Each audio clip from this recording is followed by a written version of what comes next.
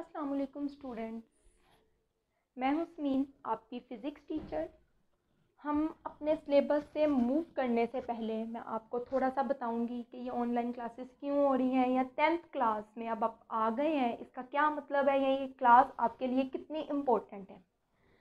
First of all students अब आप tenth class में आ चुके हैं. सेकेंडली आप मे भी फील कर रहे हो, बहुत खुश हो रहे हो. टेम्प्रेरी बच्चे जो है ना, जब पेपर कैंसिल होते हैं, उसकी जो खुशी होती है ना वो समझते हैं कि पता नहीं, यही दुनिया की सबसे बड़ी खुशी है। लेकिन बच्चों, ये खुशी जो है, वो वक्ती खुशी हो सकती है, लेकिन आप अपने माइंड में रखें, आपने पूरा साल नाइन्थ क्लास में मेहनत की है, ठीक है? आप पेपर दे रहे थे, जो कि कैंसिल हो गए। बट इसका ये मतलब नहीं है कि आपको ऐसे सबको उठा के नंबर मिल जाएँगे। आपको अब टेंथ क्लास में डबल मेहनत करनी पड़ेगी बिकॉज़ गवर्नमेंट ने दो प्लान्स पेश किए हैं। फ़र्स्ट जो ये है कि आपके टेंथ क्लास में जो मार्क्स होंगे, उसी को डबल करके नाइन्थ क्लास के मार्क्स भी लगाए जाएँगे। तो इस तरीके से अगर आपने नाइन्थ में उतनी मेहनत नहीं भी की तो टेंथ में आपको मेहनत करनी पड़ेगी।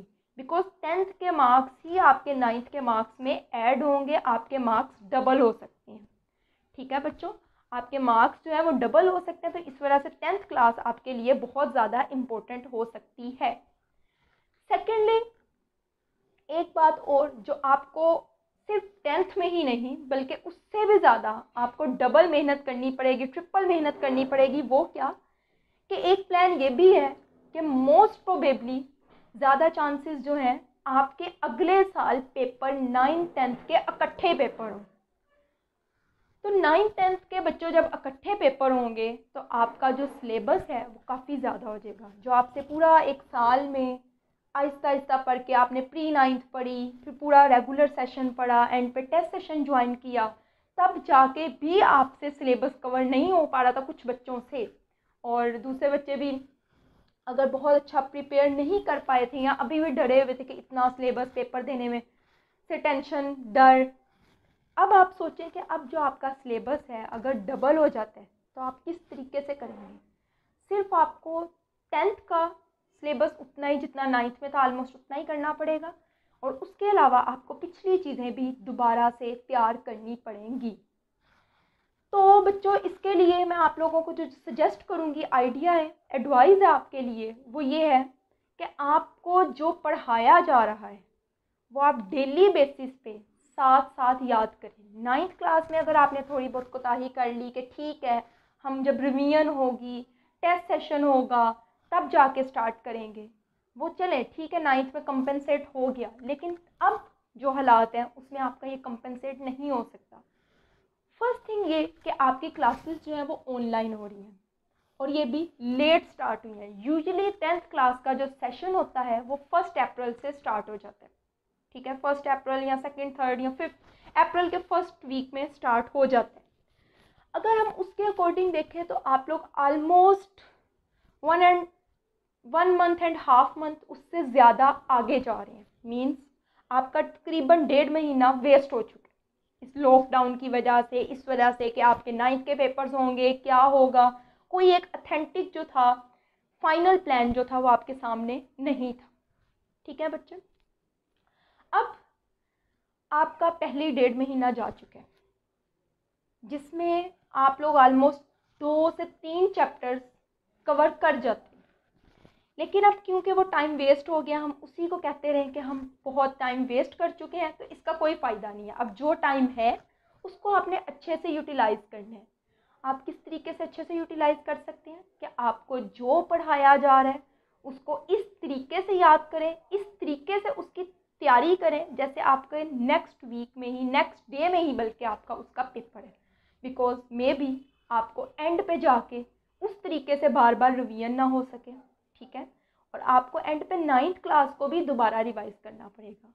तो बच्चों, आप लोगों से के लिए एक आइडिया है, एक एडवाइस है आपके लिए कि टेंथ क्लास को अब आपको और ज़्यादा मेहनत के साथ कंटिन्यू करना होगा। ठीक है बच्चे? अब टेंथ क्लास की फ़िज़िक्स का आज का जो हमारा लेक्चर है लेक्चर नंबर वन ठीक है? चैप्टर नंबर है टेन चैप्टर नंबर टेन से क्या मुराद है? बेसिकली मैट्रिक में आप आप नाइन्थ क्लास में फ़िज़िक्स के पहले नौ चैप्टर्स पढ़ चुके हैं। अब हम जो स्टार्ट करेंगे, वो टेंथ क्लास में चैप्टर नंबर ट्वेल्व करेंगे। सॉरी चैप्टर नंबर टेन करेंगे, जो कि है simple harmonic motion and waves simple harmonic motion और वेव्स बच्चों, आज हम थोड़ा सा सिर्फ़ इंट्रोडक्टरी पढ़ेंगे, कल से हम प्रॉपर क्लासेस अपनी स्टार्ट करेंगे। बट इंट्रोडक्शन में भी आपने थोड़ी बहुत एक दो डेफिनेशन याद करनी है। ठीक है बच्चों चैप्टर नंबर टेन है सिंपल हारमोनिक मोशन सबसे पहले simple harmonic motion and waves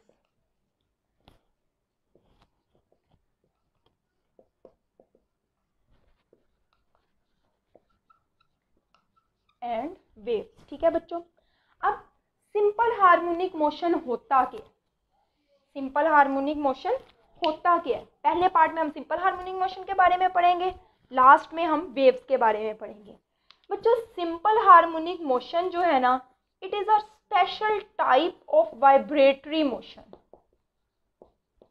it is a type of vibratory motion या फिर आप कह सकते हैं it is a type of oscillatory motion बच्चों सिंपल हार्मोनिक मोशन जो है, वो वाइब्रेटरी मोशन की एक किस्म है। और वाइब्रेटरी मोशन का एक और नाम होता है ओसिलेटरी मोशन वाइब्रेटरी मोशन को ही ओसिलेटरी मोशन कहा जाता है। तो वाइब्रेटरी मोशन और ओसिलेटरी मोशन इसकी टाइप इसकी एक एग्ज़ाम्पल है बेसिकली सिंपल हार्मोनिक मोशन एक ऐसी टाइप है टाइप ऑफ़ वाइब्रेटरी मोशन है या फिर ओसिलेटरी मोशन है। अब बच्चों वाइब्रेटरी मोशन क्या होता है एंड ओसिलेटरी मोशन क्या होता है ये आपको पता है।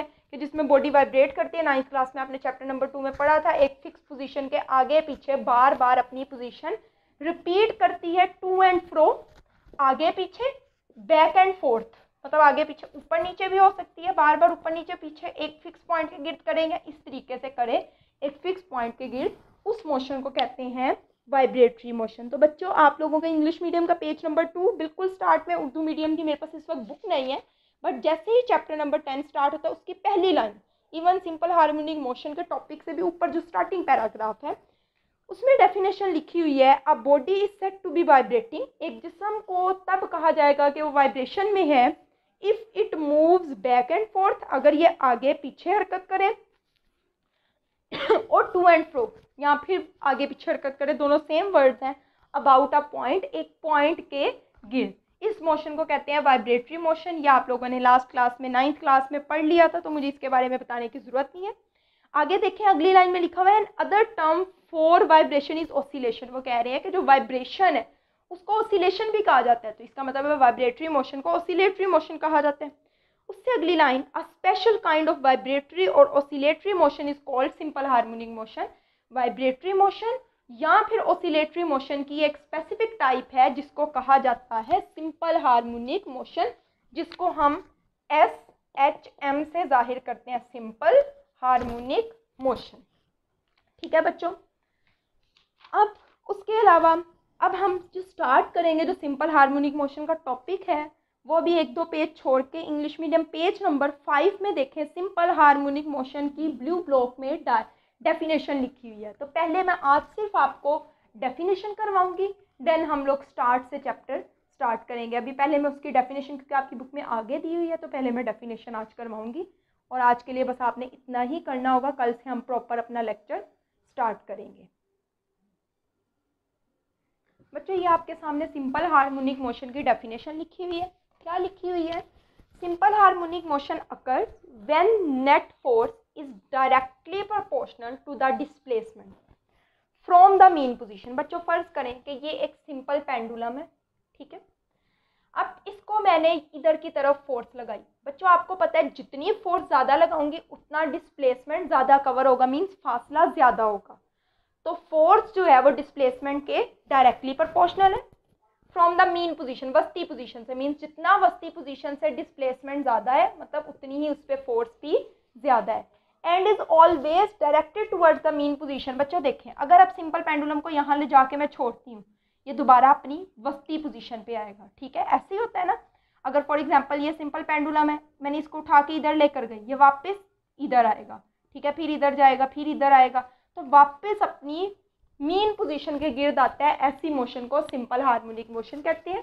Simple harmonic motion occur simple harmonic motion तब होती है when net force is directly proportional to the displacement जब नेट फोर्स जो है वो डिस्प्लेसमेंट के डायरेक्टली प्रोपोर्शनल हो मींस एफ़ जो है, वो एक्स के डायरेक्टली प्रोपोर्शनल एक्स का यहाँ मतलब है डिस्प्लेसमेंट कहाँ से डिस्प्लेसमेंट कितना? मीन पोजीशन से. मीन ये आपकी जो मीन पोजीशन है, उधर से ये डिस्प्लेसमेंट कितना उसके डायरेक्टली प्रोपोर्शनल है and is always directed towards the mean position और वो जो नेट फोर्स है, वो हमेशा वस्ती पोजीशन की तरफ़ लग रही हो. ऐसी मोशन को सिंपल हारमोनिक मोशन कहा जाता है। तो बच्चों सिंपल हारमोनिक मोशन के बारे में आपने क्या क्या चीज़ें याद रखनी है? इसकी कि एक तो ये कि एक फिक्स पॉइंट के गिर्द ये वाइब्रेट करती है। इसकी जो मोशन है, किसके गिर्द होती है? फिक्स पॉइंट के गिर्द होती है। ठीक है बच्चों? और आपको पता होना चाहिए कि इसकी जो फोर्स है, वो भी इसी तरफ़ लग रही होती है। इसका एक्सलरेशन भी इस तरफ़ लग रहा होता है। बाकी जो बच्चों, आप लोगों की ये पॉइंट्स हैं, ये हम कल के टॉपिक में मेनली डिटेल से करेंगे, लेकिन सिर्फ़ कल के लिए आप लोगों ने वाइब्रेटरी मोशन क्या होता है ओसिलेटरी मोशन क्या होता है, उसकी डेफिनेशन उसकी एग्ज़ाम्पल में सिंपल हार्मोनिक मोशन और वाइब्रेशन को ओसिलेशन कहा जाता है ओसिलेटरी मोशन को वाइब्रेटरी मोशन कहा जाता है, और सिर्फ़ सिंपल हार्मोनिक मोशन की आपने जस्ट डेफिनेशन याद करनी है। कल हम प्रॉपर अपना लेक्चर नंबर फ़र्स्ट जो आपका टॉपिक है वो स्टार्ट करेंगे। आज के लिए इतना ही। और हाँ बच्चों, एक बात मैं बताना भूल गई थी स्टार्ट में। वो ये कि आपने इसको कोई प्री सेशन नहीं समझना प्री मीन्स जो आप किसी चीज़ को पहले से प्री का मतलब होता है पहले, तैयारी करते हैं। For example pre ninth means ninth में आने से पहले आप प्री सेशन में थोड़ी सी तैयारी कर लेते हैं, जो कि आप रेगुलर नाइन्थ में जाके दोबारा पढ़ लेते हैं। सेम प्री फ़र्स्ट ईयर में आप इस तरीके से करते हैं। बट बच्चों, याद रखना this is not the pre tenth ये आपकी प्री टेंथ नहीं है, ये आपका रेगुलर सेशन है, जो कि ऑलरेडी बहुत लेट हो चुका है। तो आप ये एक्सपेक्ट ना कीजिएगा कि आपको ये सब कुछ दोबारा से पढ़ाया जाएगा। आपको इस दफ़ा कुछ भी दोबारा से नहीं पढ़ाया जाएगा तो आप ये सेशन स्टार्ट से ज्वाइन करें और क्लासेस लें और तैयारी करना स्टार्ट करें। आज के लिए इतना ही। अल्लाह हाफिज़।